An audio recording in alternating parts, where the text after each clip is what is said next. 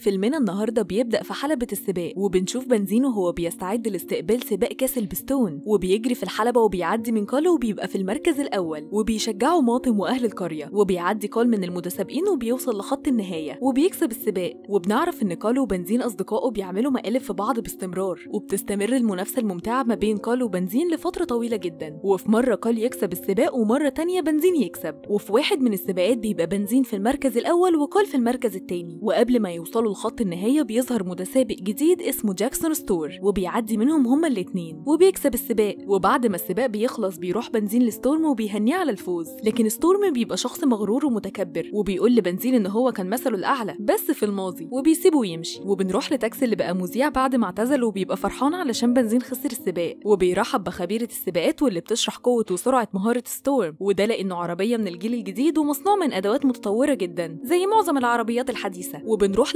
للحلبة وبنعرف إن في ست عربيات من الجيل الجديد شاركوا في كأس البستون وبيبدأ السباق وبتنطلق كل العربيات بأقصى سرعة وبنشوف بنزين وهو بيحاول يعدي من ستورم لكنه ما بيقدرش وده لأنه بيبقى سريع جدا وبيسبقه بكل سهولة وبيكسب ستورم السباق وبتعدي الأيام والسباقات وبيستمر ستورم في الفوز وده لأنه بيتمرن على المحاكي الجديد على عكس بنزين اللي بيبقى لسه بيتمرن على التراب زي زمان وبيتصدم بنزين وبيتضايق لما بيعرف إن صديقه كال هيعتزل السباقات ولما بيروح يسأله على السبب بيقول له إن موتوركو اتعاقدت مع متسابق من الجيل الجديد. وبكده هو ما بقاش هينفع يتسابق تاني. وبيشكره كال على الذكريات اللي عاشوها سوا. وبيودعه وبيمشي. وبيتضايق بنزين أكتر لما بيعرف إن كل المتسابقين القدام اعتزلوا السباقات. وما تبقاش غيره هو الوحيد من الجيل القديم. وسط كل المتسابقين الجداد اللي سرعتهم بتبقى عالية جدا. وبيبدأ السباق الأخير واللي بيبقى مكون من 500 لفة. واللي هيكسب السباق ده هياخد كأس البستون. وبيجري بنزين وبيعدي من العربيات بسرعة ومهارة زي زمان. وبيروح ستورم وبنزين لمحطة الصيانة علشان يغيروا الكاوتش. وبينطلق بنزين بسرعة وبيعدي من ستورم وبيرجع للحلبة وبيبقى المركز الأول. لكن بيقدر ستورم بكل سهولة إنه يقرب منه وبيقول له إن الأحسن ليه إنه يعتزل. وبيسيبه ويمشي. وبيتضايق بنزين وبيحاول يجري بأقصى سرعة علشان يعدي من المتسابقين اللي عدوا منه. لكن العجل بتاعه ما بيستحملش. وبيفقد السيطرة وبيخبط في الجدار وبيخرج بره الحلبة. وبيتدمر وبيحصل معاه زي اللي حصل مع متسابق قديم. وبتعدي الأيام وبنروح لنبع الريداتير. بعد أربع شهور من حادثة بنزين. وبنشوف بنزين بعد ما اتصلح واتعمل له صيانة وبيتفرج بنزين على التلفزيون وبيشوف الدوك زمان لما فقد السيطرة واتدمر. ومن وقتها وهو معتزل السباقات. وبتروح سالي لبنزين وبتطمن عليه وبتشجعه. وبتطلب منه يتدرب أكتر لكن بطرق جديدة ومتطورة. وده علشان يرجع يتسابق زي زمان. فبنزين بيرفض وبيقول لها إن هو خايف يفشل. وساعتها سالي بتقول له إنه ما يخافش من الفشل لأن الفشل أكتر حاجة بنتعلم منها النجاح. وبتعرفه إن لسه قدامه فرصة تانية علشان يثبت للعالم سرعته ومهارته. فبيتحمس بنزين وبيقرر يرجع للسباق مرة تانية ويتدرب أكتر علشان يسبق ستورم وبيروح بنزين يشكر أهل القرية لأنهم لسه مساندينه وما تخلوش عنه. وبيفرحوا كلهم لما بيعرفوا إن بنزين هيرجع تاني للسباقات. وبيكلم مديرين شركة مزيل الصدأ وبيقول لهم إن هو لازم يتدرب بطريقة حديثة علشان يقدر يسبق ستورم فبيطلبوا منه يقابلهم بكرة الصبح علشان بيبقوا محضرين له مفاجأة. ويستعد بنزين وبيرجع لونه الطبيعي وبيركب المقطورة مع المساعدين بتوعه. وبتودعه سالي وماطم وأهل القرية. وبيمشي وبيوصل بيهم جاز لمكان شركة مزيل الصدأ اللي بقت متطورة جدا. وبيخرج بنزين من المقطورة وبيدخل الشركة وبينبهر لما بيشوف الرقم بتاعه على شكل تمثال كبير. وبيقابل بنزين مديرين شركة مزيل الصدأ واللي بيقولوا له إنهم باعوا الشركة لشخص غني جدا. وده لأنهم مش هيقدروا يوفروا له الأجهزة الحديثة. وبيجي ستيرلينج صاحب الشركة الجديد وبيرحب ببنزين لأنه من أشد المعجبين بيه. وبيشكر بنزين مديرين الشركة القدام على اللي عملوه علشانه. وبيودعوه وبيمشوا. وبيستكشف بنزين المكان وبينبهر من كل الصور والاستيكرات بتاعته اللي متعلقة على الجدار. وبياخده ستيرلينج وبيخليه يغير شكله وبيوريه المركز اللي بيتدربوا فيه المتسابقين. وبينبهر بنزين لما بيشوف المحاكي اللي السيارات الحديثة بتتمرن عليه. وبنشوف كروز المدربة المسؤولة عن المتسابقين واللي بترحب ببنزين. وبتقول له إنها متشوقة جدا لتدريبه. وبيبدأ بنزين يتدرب مع كروز واللي بيتمرنوا بطريقة مختلفة. وبتخليه يرقص. وطبعا بنزين بيبقى متضايق من التدريبات دي. وبيسيبها علشان يروح يجرب المحاكي. وبتنصحه كروز إنه ما يجربهوش دلوقتي لأنه محتاج يتدرب عليه الأول. لكن بنزين بيصر على قراره وبيشغل المحاكي. وبيجري بأقصى سرعة عليه لكنه بيفقد السيطرة وبيخبط في الجدران وكمان الكاوتش بتاعه بيتفك وبيتدمر المحاكي وبيروح يعتذر بنزين لستيرلينج اللي ما بيبقاش متضايق بسبب اللي حصل. وبيوري له كل المنتجات اللي مرسوم عليها صوره وبيعرفه إنه مش هيشارك في السباق لأن سرعته أقل من المطلوب. وبيقول له إنه هيبقى علامة تجارية في العالم وانهم ببيع المنتجات دي هيقدروا يكسبوا فلوس كتير جدا. لكن بنزين بيرفض وبيترجاه يشارك بيه في السباق. ولو خسر هيبيع برضه كل المنتجات. لكن لو كسب هيفضل يتسابق لحد ما يقرر يعتزل. فبيوافق ستيرلينج على كلامه بشرط إن كروز تكون معاه وهو بيتدرب. وتاني يوم بيبدأ بنزين يتدرب على الشاطئ وبيطلب من كروز تكون قريبة منه علشان تراقب سرعته. وبينطلق بنزين بأقصى سرعة لكنه بيقف لما بيلاقي كروز مش قادرة تتحرك في الرمل. وبيروح بنزين ينصحها وبيفضل طول اليوم يعلمها إزاي تمشي على الرمل. وبعد محاولات كتير جدا بتقدر كروز تجري بسرعة لكن بنزين بتبقى سرعته لسه مش عالية كفاية. وبيقرر يروح لحلبة السباق علشان يتدرب فيها. وبالليل بيغير شكله علشان محدش يعرفه وبيدخل للحلبة هو وكروز. لكن بيتصدموا لما المتسابقين بيدخلوا وبيعرفوا إن الحلبة دي لتصادم السيارات مش للسباقات. وبيحاولوا كروز وبنزين يهربوا من العربيات اللي بتجري وراهم وبتطاردهم علشان تدمرهم. وبيساعد بنزين كروز علشان تقدر تهرب من العربيات اللي بتجري وراهم. وبتيجي عربية من العربيات وبتجري بسرعة وبتحاول تخبط كروز. لكن بنزين بيتدخل وبينقذها على آخر لحظة. وساعتها الباص بيتعصب من بنزين وبيجري بسرعة علشان يروح يخبطه. لكن بنزين بيقدر يتفاداه وبيخليه يطير في الهواء وبيخرج من الحلبة بسرعة. وبتفوز كروز بالسباق علشان هي العربية الوحيدة اللي لسه بتتحرك. وهي بتجري بتخبط في عربية وبتتقلب وبتخرج مية ولما بتيجي على بنزين بترجعه لشكله الطبيعي فبيفرح كل الجمهور لما بيشوفوه وبيهتفوا باسمه وبينتشر الخبر في التلفزيون وبيتكلموا عن اللي حصل. وبتبقى كروز فرحانة جدا لأن دي أول مرة تاخد جايزة في حياتها. لكن بنزين بيزعق لها وبيلومها لأنها السبب في اللي حصل وبيقول لها إن سرعته ما بتزيدش لأنه طول الوقت بيحاول يهتم بيها هي وفجأة بيقع الكاس بتاعها بالغلط وبيكسره. فبتزعل كروز وبتتضايق جدا وبتخرج من المقطورة وبتقول لبنزين إن طول عمرها كانت بتحلم تكون متسابقة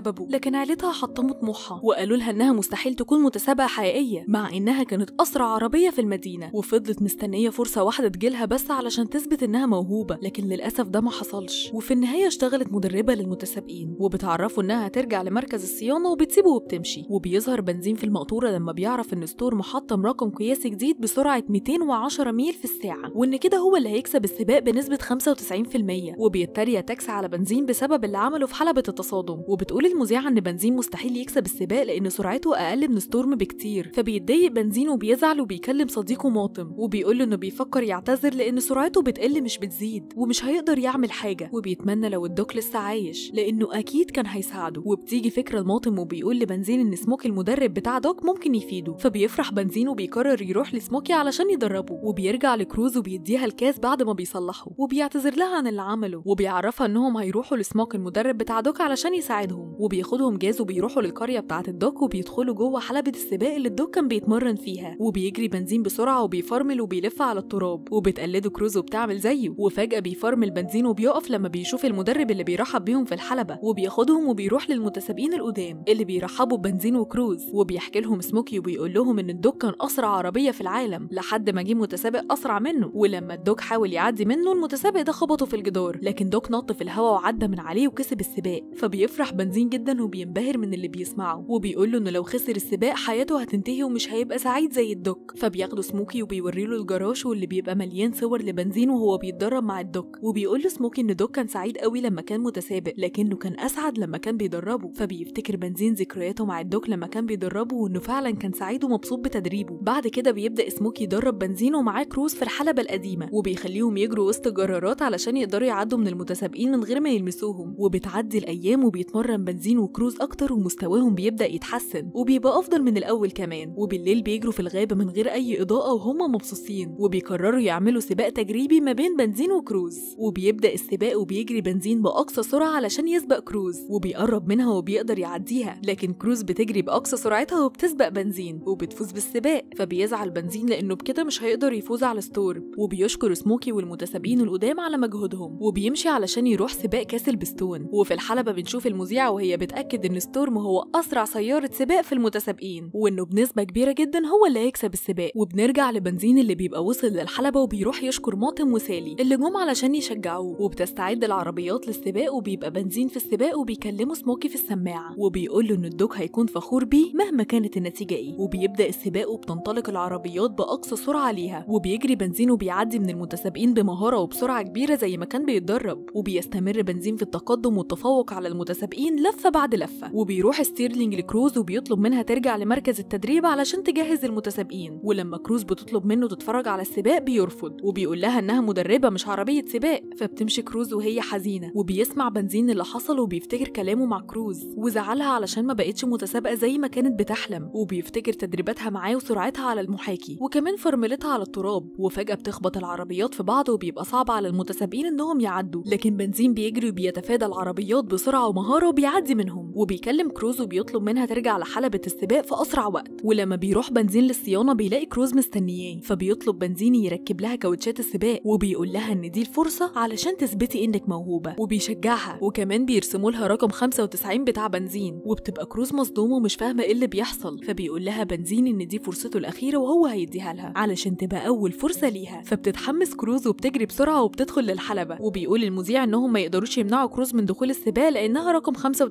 وده معناه إنها بتكمل السباق مكان بنزين. وبنروح لكروز اللي بتتوتر من شكل الحلبة والجمهور. وبتبقى خايفة جدا. لكن بنزين بيكلمها في السماعة وبيهديها وبيشجعها. وبيفكرها بكل التدريبات اللي كانوا بيتدربوها مع بعض. فبتتحمس كروز وبتجري بسرعة وبتعدي من المتسابقين. وبتتخيل إن كل العربيات جرارات وبتعدي منهم زي ما بنزين بيقول لها. وبتستمر كروز في التقدم وهي بتعدي من المتسابقين. وبيفضل بنزين يكلمها في السماعة وينصحها علشان تعدي من العربيات. وبتنفذ كروز كل كلامه. وبتعدي من المتسابقين وبتروح لمركز الصيانة وبتغير الكاوتش وبتنطلق بسرعة وبترجع للحلبة وبتعدي من العربيات بسرعة ومهارة زي ما بنزين كان بيعمل وبتفضل تجري بسرعة لحد ما بتبقى من العشر الأوائل وكمان بتوصل للمركز الثالث وساعتها ستورم بيهدي السرعة وبيرجع لكروز وبيستفزها وبيتريق عليها وبيقول لها إنها مستحيل تكسب السباق أو إنها تبقى متسابقة أصلا وبيسيبها وبيمشي فبتحبط كروز من كلامه وبتبدأ سرعتها تقل وبيعدي منها المتسابقين بس بنزين بيشجعها وبيقول لها إن ستورم عمل كده علشان هو خايف منها لأنها سريعة وممكن تكسب السباق فبتتحمس كروز تاني وبتجري بسرعة أكبر وبتعدي من المتسابقين. وبنروح لستورم اللي بيتفاجئ لما بيعرف إن كروز بقت وراه في المركز التاني. وبتفضل كروز ماشية ورا ستورم وبتستفزه وبتقول له إن سرعته بطيئة. وبيكلمها بنزين وبيقول لها إن دي آخر لفة وإنها لازم تكسب السباق ده. فبتجري كروز بسرعة وبتحاول تعدي من ستورم اللي بيزنق عليها جامد علشان يخسرها. وساعتها كروز بتنط في الهواء وبتعدي من على الجدار زي ما بنزين كان بيعمل. وبتكسب السباق. وبيندهش بنزين وكل الجمهور اللي بيهتفوا باسم كروز اللي بتبقى فرحانة جدا وبيفرح بنزين لما بيشوف صورته هو وكروز في المركز الأول لأنه هو اللي بيبقى مقيد في السباق وبيجي مدير شركة موتوركو وبيطلب من كروز إنها تبقى المتسابقة الجديدة بتاعته وبتعدي الأيام وبنشوف بنزين بعد ما غير لونه بقى زي الدوك وكمان بقى هو المدرب المسؤول عن كروز